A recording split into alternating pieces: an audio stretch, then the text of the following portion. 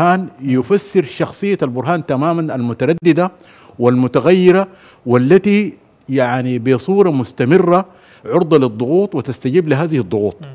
وفي تقديري أخي أحمد أنه هذه المبادرة هي مبادرة أمريكية.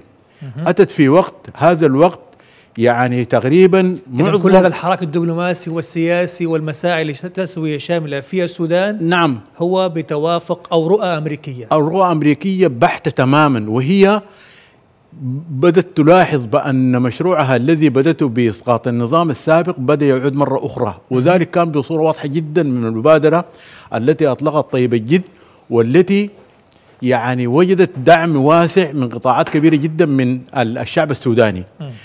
صاحب كذلك وده كان المقلق. القيادة بتاع العودة بتاعت إيلا والحشد الجماهيري الذي لم يحدث في تاريخ السودان والاتفاق حول إيلا وأصبح المؤتمر الوطني يتكلم عن عودة مماثلة لكمية من قياداته. وأتبع هذا بإعلان عن اجتماع المكتب القيادي بالنسبة للمؤتمر الوطني وما تم في اتخاذه من قرارات وأصبح يمارس نشاطه. فأنا أفتكر هذه الدوافع هي التي جعلت الأمريكان يضغطوا على البرهان لإطلاق لتمرير هذه المبادرة من أجل ماذا؟